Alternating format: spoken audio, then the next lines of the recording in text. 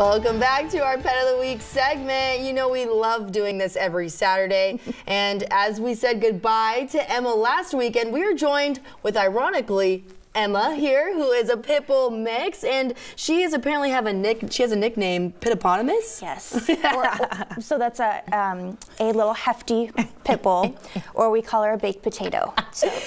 Well, she certainly, you know, has everything a baked potato that most people love in a baked potato. She's great. She has everything that's so loving too. I mean, I just met her a few minutes ago. She greeted me. She ran right up to me. You couldn't ask for a sweeter pup right here, and she's just so easy to be around. And you know, it's always nice when a pup is welcoming to strangers. Oh, yeah. You know, definitely helps in the adopting process. So tell me a little bit about her journey to you.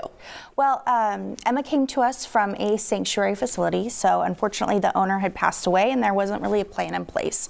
So um, a lot of local rescues, with along with Marley's Mutts, was able to pull some of those dogs, and Emma was one of those lucky dogs. And so she came to us. Um, she had been living outside in a kennel environment, mm -hmm. so she's learning to live in a home. And her foster has said she's just been super easy and super pleasant. That she loves cuddling, loves people. Um, Currently on a diet. Currently on a diet. I love it. Come on. Come on. so she has obviously all of her shots. Yep. Is she microchipped? Yes. Oh, so all so of our helpful. dogs come with microchips. Okay, so yeah, that's super awesome. helpful for owners, you know, especially because, you know, dogs get out anytime. Absolutely. But it looks like she would just do well with anybody. I mean, kids, mm -hmm. cats, you think she'd be okay with cat? She's cats? very curious with the, with the foster's cat.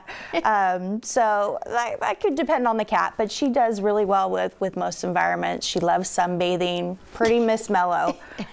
All right, well, hopefully someone in our community is watching and wants to take home another sweet Emma.